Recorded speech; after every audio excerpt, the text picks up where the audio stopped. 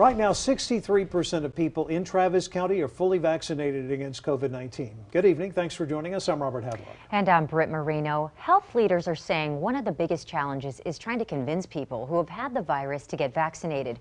Research shows that people who have recovered from the virus have natural antibodies to COVID 19. KXAN's Sarah Rahman spoke with someone who is testing himself for antibodies and is resisting calls to get the shots wasn't a terrible illness. Brandon Dykes contracted COVID 19 in March. Then, so did the rest of his family. Luckily, they all had mild symptoms. We were still kind of weighing the pros and cons and deciding whether or not that was going to be something that we did. But instantly, that was that was kind of foreshortened by our contracting the disease itself. Dyke says they still have questions about the COVID 19 vaccines, and now that they have natural antibodies against the virus, they don't feel the urgency to get one.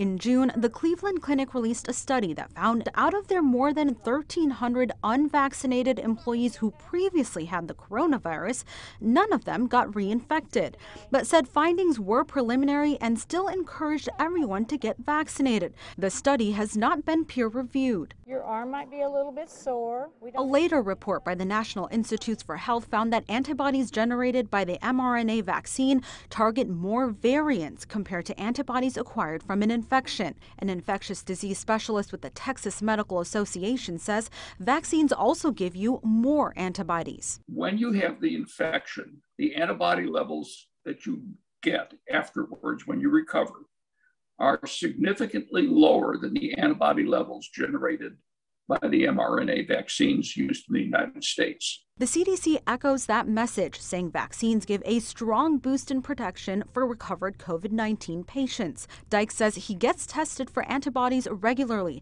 and doesn't see the need for extra antibodies through a vaccine until his own run out. Those of us that have had COVID and feel like we're protected, we're not trying to kill grandma. We're just making a personal decision. Tahera Rahman, KXAN News. The infectious disease expert with the Texas Medical Association says natural antibodies may be able to reproduce for someone's entire life.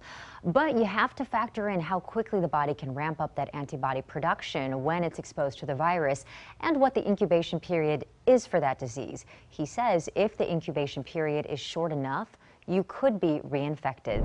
Now, there are some tests to help you determine if your body has produced those antibodies. In April, we told you about a new spike antibody test. With a simple blood draw, the test searches for spike proteins, which present themselves after getting the vaccine. Clinics, Quest Diagnostics, and various urgent care clinics offer this test. But the key is to make sure you wait at least two weeks after being vaccinated. Other locations where you can get an antibody test include CVS pharmacies, Austin Regional Clinic, Texas Medical Clinic, and UT Health Austin. Our local blood bank, We Are Blood, stopped conducting antibody tests on donations on Saturday. We Are Blood used the testing to find convalescent plasma donors who could help hospitalize COVID 19 patients. The blood bank says it stopped antibody testing because there is enough plasma on hand now to treat people in hospitals and clinics. The state just reported 259 people were admitted to hospitals for COVID 19 yesterday. There are more than 6,800 Texans hospitalized with COVID across our state. That's the highest number since February 22nd.